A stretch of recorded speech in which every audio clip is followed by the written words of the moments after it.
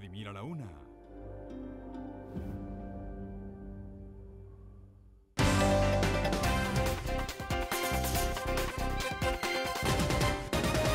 Bueno, continuamos conversando con Enrique José Cedeño y César Arias, eh, directivos del Sindicato Único de Trabajadores del Consejo Nacional Electoral. El Contralor dice por aquí esa cifra afiliada es falsa, la gente se fue a otro sindicato porque estos señores nada han hecho, no representan a nadie, etcétera. Bueno, eh, ha sido venezolano. Pregúntale a los entrevistados si están de acuerdo con revisar los requisitos para la jubilación, que hoy permite que una persona con 45 años de edad y 15 años de servicio en el CNS se jubile con el 100% del sueldo y por eso la nómina de jubilados es más alta. Eso está en la normativa. En la normativa de jubilación de personas está esos requisitos. Son dos requisitos, ¿no? con 45 años, oye. Sí, 45 años de edad y 15 años continuos de servicio. ¿no? Y puedes tener también años de otra institución pública sumado a 21 años de servicio en la administración pública y ser Una persona de 45 años está todavía activa. Sí, sí, es que, lamentablemente en el poder electoral eh, no hay un sistema de consideración sobre el funcionario que cumple los 15 años. Es una forma eh, tajante, violatoria, atropelladora. la persona le llega la carta, mira, está jubilado, se va. Y, lamentablemente la gente todavía tiene vida útil para prestarle los conocimientos que ha adquirido en la misma institución.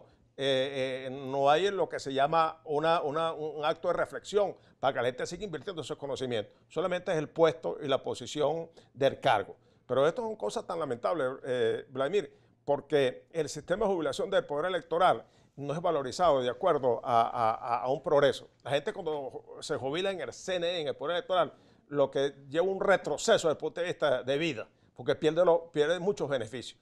La contratación colectiva, o sea, de los beneficios económicos que, que, goza, cuando es jubilado los pierde. Entonces lo que baja es a un sufrimiento, un deprimento desde el punto de vista del poder adquisitivo. Y lamentablemente eso es, por eso que César hablaba pues de la homologación desde el 13 de diciembre de 2013, que Tevisei Lucena, que fue la que, la que presentó este proyecto, la dueña de este proyecto, y le ha quitado pues una vida normal a un jubilado, que la gente lo que hace es tener una situación lamentable de vida dentro del poder electoral. Eh, aquí dice Lester Rodríguez, todos los trabajadores venezolanos rechazan las tablas de hambre impuestas por el régimen de Maduro. El régimen de un plumazo y arbitrariamente desconoció las contrataciones colectivas existentes, obligando a los trabajadores a pasarla muy mal. Eh, aquí dice el Contralor nuevamente, la jubilación es un paradón de fusilamiento y nada dice eso, señora. Bueno, ya hablo de eso. Eh, también hay otros, comentarios. José Fisicópolis dice, están violando la Constitución cuando niegan la homologación a jubilados del CNE. Eh, también aquí hablan de presuntas irregularidades en la, en la caja de ahorro. Eso es cierto, que ha habido irregularidades allí. Mira, eh, la caja de ahorro... Eh, apoyaron el saqueo que sufrió la caja de ahorro, dicen por aquí, en la, contra la anterior directiva y créditos que, irregulares que tenían hasta algunos rectores allí. Bueno, fíjate, dicen. la, aceptación, de la aceptación de caxeo ante la, caja de ahorro del Poder Electoral o del Consejo Supremo Electoral, una de las mejores cajas de ahorro del país había un derecho de disfrute de, atención enorme. Lamentablemente, después que llegó el sistema de la revolución, esto fue intervenido, fue eh, dirigida por, por directivos sin nombrar a ningún nombre, eh, y esto va una decadencia, una decadencia, que la superintendencia de caja de ahorro, en la cual nosotros hemos dirigido escrito, lamentablemente no, no ha dado salida, solamente ha impuesto comisiones que entre ellos pues ha sido peor el remedio que la enfermedad. Lamentablemente la caja de ahorro ahorita está en una situación bastante eh, deprimente, lamentable, porque no maneja los recursos que debe manejar, porque la presidenta del Poder Electoral, yo le hago un llamado desde acá, de que le, envíe los recursos que nos descuentan a nosotros los jubilados y los pensionarios los activos a la caja de ahorro porque no, no tiene recursos la caja de ahorro. O sea, el dinero que debe ser manejado por la caja de ahorro no lo, no, lo está dirigiendo.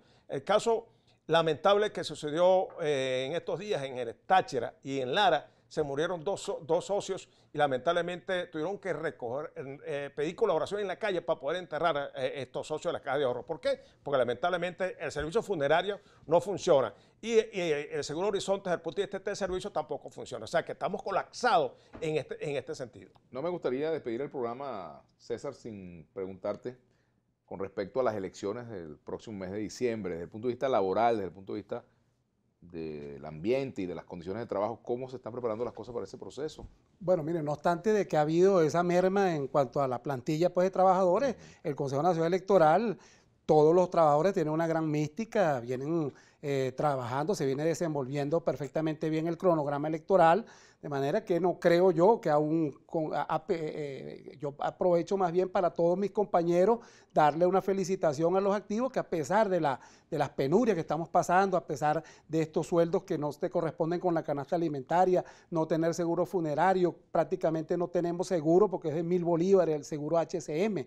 Este, mil bolívares. Mil bolívares. Este, las becas útiles eh, escolar está la fecha que no ha sido pagada y no sabemos tampoco cuál es el monto. Ya la gente tuvo que hacer tripas corazón para hacer su, inscripción de sus muchachos. A pesar de todo ello, se impone la mística, se impone el trabajo y, estoy seguro que va a ser un éxito y el, proceso se va a llevar a cabo sin ningún problema. Y si me permite, para terminar, oye, un llamado a los magistrados del Tribunal Supremo de Justicia que en las manos de ellos está restablecer de nuevo, decidir el recurso de nulidad contra la resolución que nos quitó la homologación, en manos de ellos está este, realmente eh, terminar con el calvario de los jubilados del Consejo Nacional Electoral y el fiscal general de la República, garante de la constitucionalidad y de la legalidad, que también está de parte de los trabajadores del Consejo Nacional Electoral, le pido sus buenos oficios para que diligencia entre la sala político-administrativa y salga esta decisión, que este sea el regalo de Niño Jesús que le acomode la Navidad a los jubilados del CNE.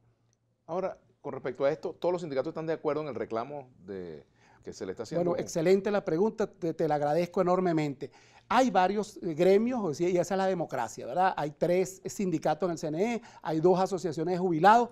Hubo, así como hubo la unanimidad para quitarnos el, derecho, hubo unanimidad en cuanto a los gremios. Ahí nos unió, nos amalgamamos. Ahí no hubo diferencia política de ningún eh, tipo.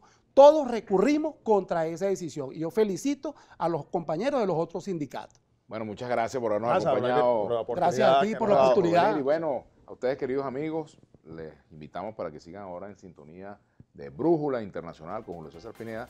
Y mañana, bueno, mañana es viernes y como dicen, el cuerpo lo sabe, por eso vamos a tener un viernes musical, como siempre. Hasta mañana.